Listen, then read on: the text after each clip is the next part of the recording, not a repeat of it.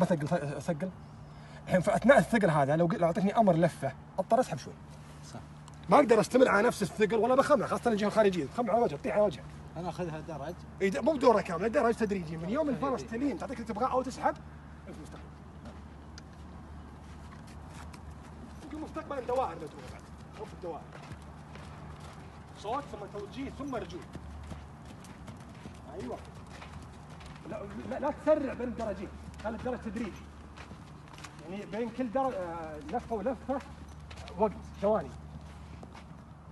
يمين. يسار. لاحظت الفرق؟ خلي اندفاعها ولا مع إنك أنت متقدم معها بجسمك بس رقبتها بدأت تقل فتكيتها سحبت شوي وارتخت. يعني زي ما تقول رقبتها صارت قدام شوي. في البداية كانت لا طبعا ممكن يكون برضه لها نشاطها له دور ليش بس الفكرة واحدة. حرك خب خب اطلق خب. صوت وتغيير اتجاه. ليش ليش ما قلت لك استعمل رجل كثير؟ الناس ما استعمل جسمه. قبل شوي ليش أقول استعمل رجل كثير؟ الفرس ما عاد تستعمل جسمها زيادة.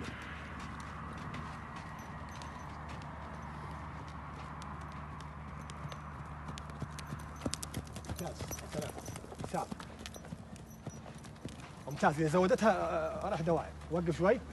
لاحظ كيف آه، زادت سرعتها بس أنت اللي يصير انك بسبب زيادة السرعة صح خفت رقبتها بس صرت مرة متقدم معها جسمك قبل شوي راسك عند الماء كيف صارت أنا زيادة. انت مرة قريب منها في الحالة هذه. فاللي يصير إنك حاول تثبت ظهرك. لا تبالغ في التقدم. خلي يدك تروح.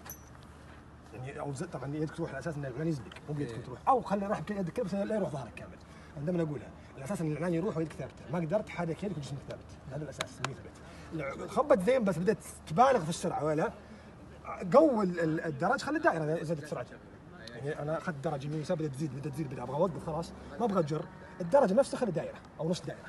مجرد إنك تاخذ نص دائرة رجعت بطيئة ثم ارجع نفس خطك خلها تحس إنه مو لازم أجرها عشان تخفف الخبه لا.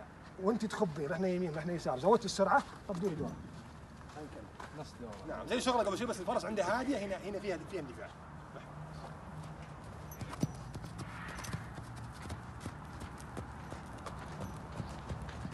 ظهرك مستقيم. لا تقدم مرة لا تقدم ثلاث مرة. خلي مستقيم. أيوه. إذا بغيت تضبط وضعك ناظر قدام. لا لا تطلع إذنها طلع قدام. أيوه. كيف ظهرك استقام؟ حتى لو اختلت وزنك شوي عادي. ممتاز. وقف. ضاعت الفكرة لما تطلع قدام وصار طلعت قدام ظهرك استقام. صح اختلت وزنك شوي بس بتزين شغل بس يزين شغل يدك. تركز تحت هنا مسوي كذا. لكن سويت كذا استقام.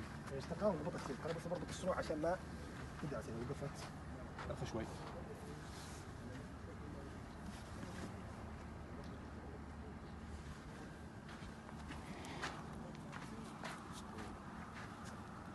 وزن؟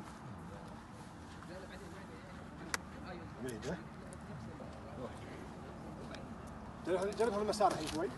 ماشي مسار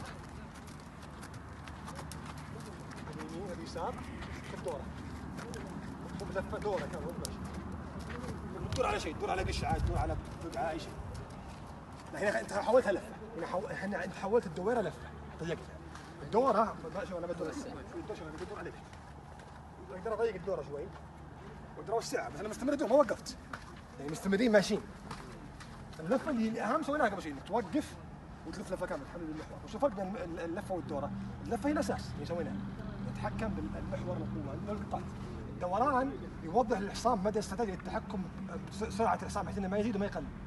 أنا تحكمت بسرعة رديت الحين. بس أبغى يعرف اني مو بس تحكمت بسرعتك وانت بزايد وأنت مقلل. فلما تأخذ دورة وسيعه ويزيد تضيقها يبطئ. تأخذ آه، آه، دورة ضيقة يبطئ توسعها يزيد. أنا ماخذ سرعة معينة بس أبغى يعرف إنه بحدود السرعة الخطوة وردة لي. أنا خاب. بس ما أبغى خب طويل ما أبغى خب قصير أبغى خب وسط. الأساس طبعا إنك تسوي عن طريق المواكبه بس بما إني ما عندي دقة في المواكبة أسويها عن طريق الدوائر. فتمارين اللفات للتحكم بالاتجاه يعني عند القطاعات من التحكم بالسرعة. بينما الدوائر مو بس فقط اتجاه الهدف منه التحكم بالخطوة. إنك عادة إذا سويت الدائرة الحصان يا يزيد يا يخفف الخطوة.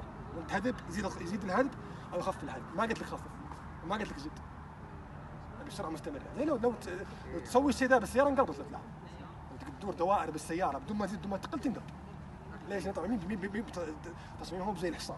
الفكرة من ليش تنقلب أساسا؟ لما تدور دوران يا تزيد سرعتها ولا ولا تخفف ولا بس على على بتصير زي الربع ت- تمشي على جنب ولا لأن باختصار أساس السرعه فيها أنا ما زدت بسرعة عشان تعدل نفسها ولا خففت. فالطاقة كلها تحول وشو للجهة اليمنى والجهة اليسرى ترفع. صح؟ بس في الخيل لا. تركيبة الحصان تختلف عن تركيبة السيارة. يصير اللي أنت تبغى تسويه في الدوائر بر على شيء قشعة حصاد سيارة. إذا بغت توخر عنها قربها لها. إذا بغت تقرب لها بعدها. بس بدون ما تلف. مع إن التمرين اللي سويته حلو مع بعض العسايف إني أنهي الدائرة بلفة. يعني يدور دورة كاملة. ثم أنهي الدائرة بلفة. لتليين الكتف. هذا تمرين خاص. يعني هذا